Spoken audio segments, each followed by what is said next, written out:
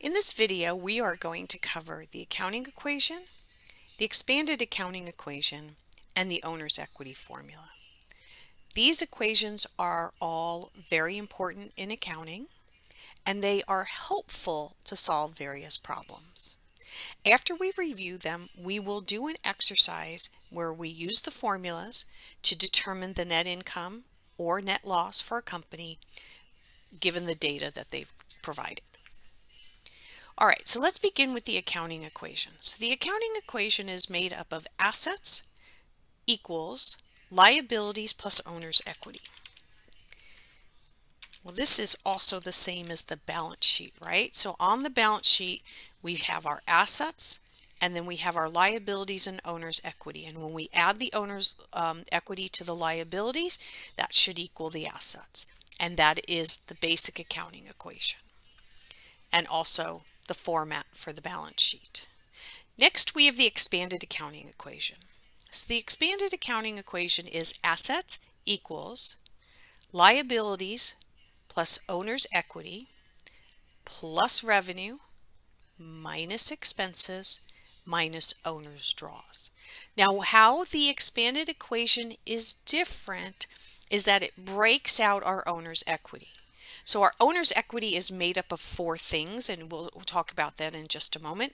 But it's also the owner's contributions, right? That's when own, the owner makes contributions to the business. The owner's draws, that's money that the owner takes out of the business, plus revenue minus expenses. So when we put that all together, we get the expanded accounting equation. So next, let's talk about the owner's equity formula. So the owner's equity formula, it is the same as the owner's equity statement. Okay. It is the same format as the owner's equity statement. So how it begins is with the owner's equity at the beginning of the period. So how much was the owner's equity in the beginning of the period? Then we would add any contributions that the owner made to the business during the period.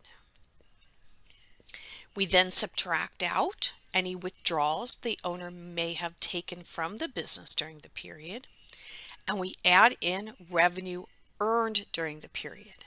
Now, revenue is what we earn from doing what we're supposed to do or doing what the business does. If we're Walmart, Walmart sells things. When they sell things, they earn sales, and sales is a revenue account. Now we have expenses. Expenses are the costs that we incur to earn our revenue. So once again, if we're Walmart, we have the cost of our product that we sell, and we also have the cost of running our store, such as electricity and rent and such. So we subtract our expenses from our revenue, and that's where we get our net income or our net loss. So, so revenue minus expenses is our net income, unless of course we have more expenses than revenue, then we'll have a net loss. And those are the accounts that we will find on our income statement.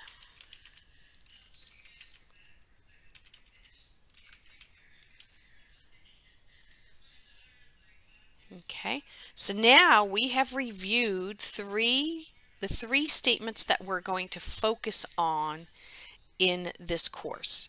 The income statement,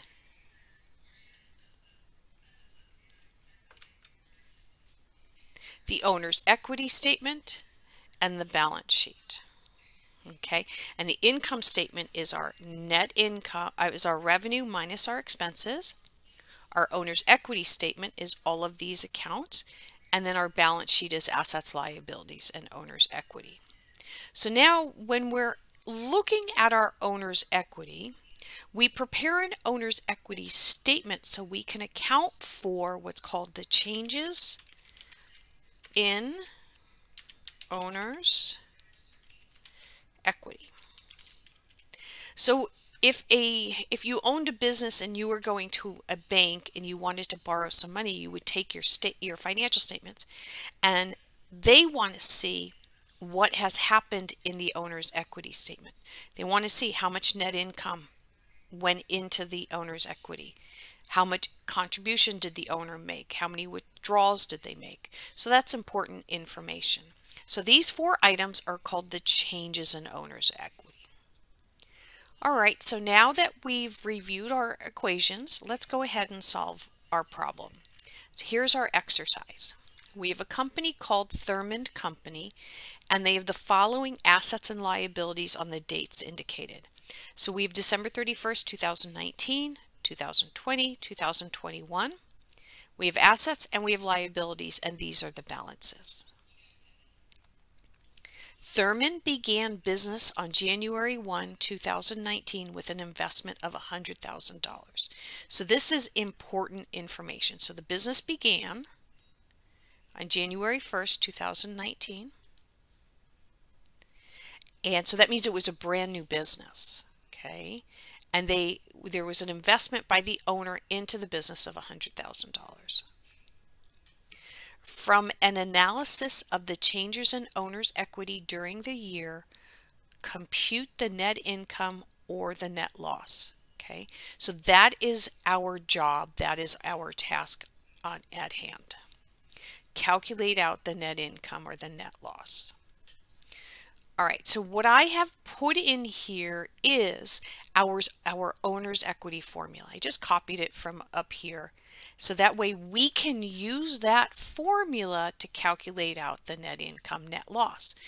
The thing I did do that's different is rather than put revenue and expenses, because we don't know that, when we take our revenue and subtract out our expenses, we get our net income or our net loss. I put that here. So I broke out the formula, say here it is, owner's equity state, owner's equity at the beginning of the period, owner's contributions, minus draws plus net income minus net loss gives us our owner's equity at the end of the period. Okay, so I'm going to start filling in the pieces. So remember, Thurmond began business on January 1, 2019. Our beginning owner's equity is always the balance at the end of the last fiscal year, right? So that would be December 31st, 2018 for the fiscal year of 2019. Well, this is a brand new business. So our beginning owner's equity was zero. From the facts, they tell us that the business started on January 1, 2019 with an investment of $100,000. Okay, so that's positive.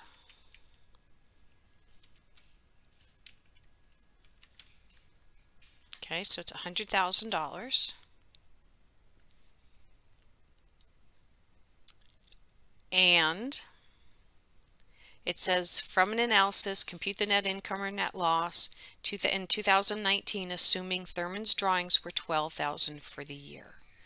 All right, so the draws were 12,000. That's going to be a negative. Okay, so now how are we going to figure this out?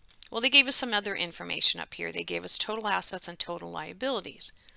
Well, from our fundamental accounting equation, assets equals liabilities plus owner's equity, we can calculate out what our total equity is. So our total equity is going to be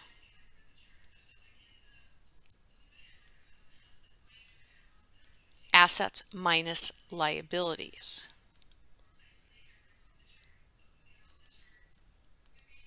Okay, so let's go ahead and calculate that out. So in 2019, if our total assets were 400,000 and our liabilities are 250,000, that means that our owner's equity was $150,000, right? So that's 400,000 minus 250,000.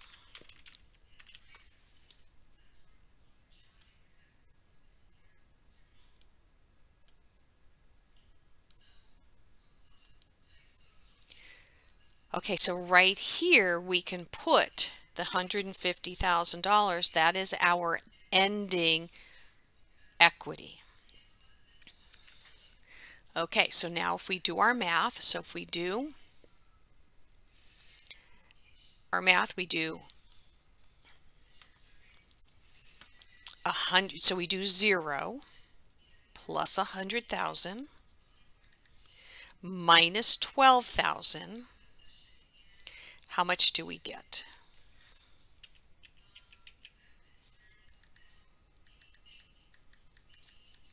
That's going to equal $88,000.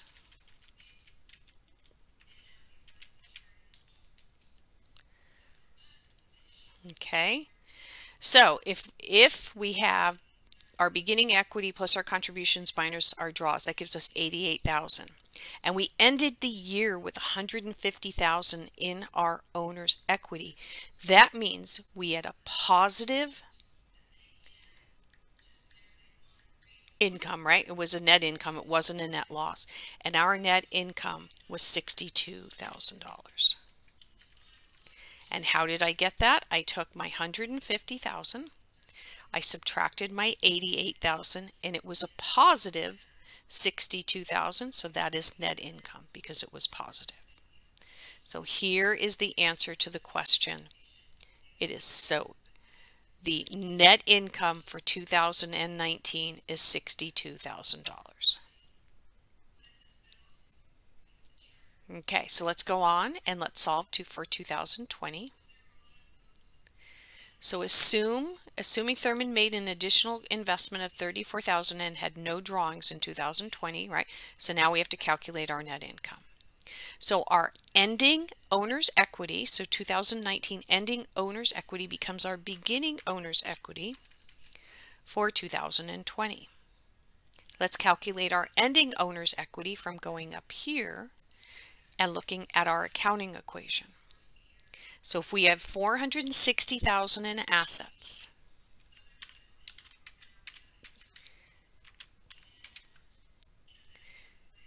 and we have 300,000 in liabilities,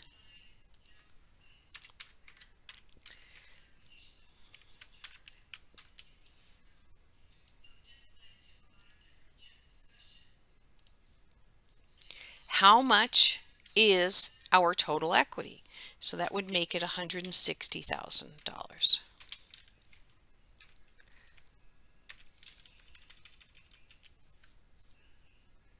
Okay, so now we know what our ending equity is. So let's go ahead and put it here. Okay, so we began the year with with 50 150,000 in our owner's equity account. We ended the year with 60 $160,000. They in the information they gave us, they said that the owner made an additional investment of 34,000. So that's going to be 34,000 positive, right?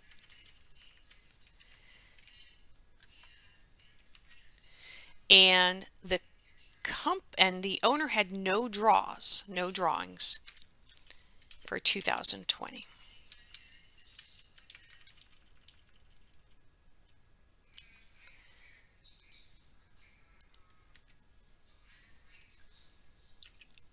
So if I take my $150,000 that we started with, the 34,000 that the owner contributed, I now have $184,000. So if I had 184,000 and I ended the year with $160,000, that means I have a negative $24,000.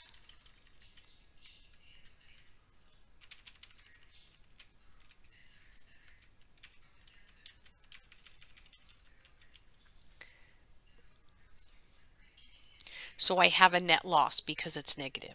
So if I take my beginning equity and what the owner contributed to the business, I get 184, 184,000.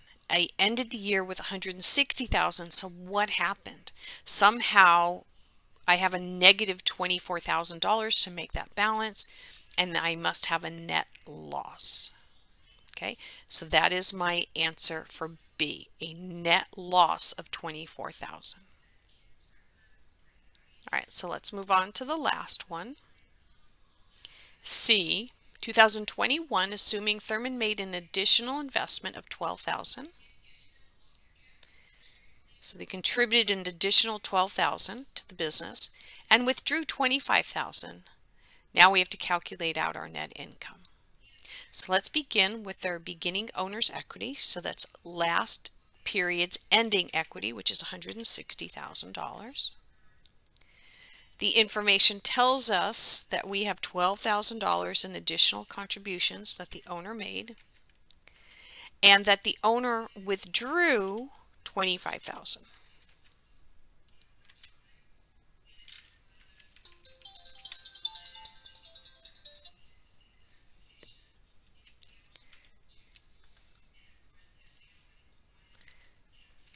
Okay, so now if I take 160,000 and I add to it 12,000 and I subtract out the 25,000, I get $147,000.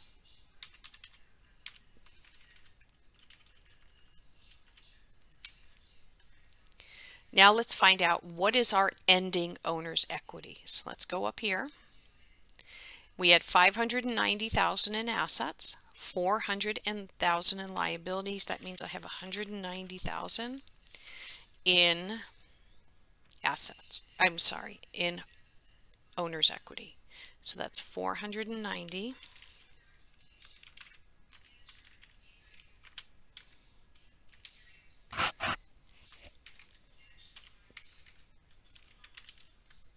Should be 590. This should be blue. Okay, so our ending owner's equity in 2021 is 190,000. So let's go ahead and put that here. So I began the year with 160,000 in equity. The owner contributed 12,000, withdrew 25,000. That gives me 147,000. I ended the year with 190,000. So that is a difference of 43,000 and it is a positive amount. So that means I had net income. So I take my 147,000, I add my 43, and that gives me $190,000. So my answer to that one is I have net income of $43,000. Hopefully this makes sense to you and using the formulas make it easier to solve problems.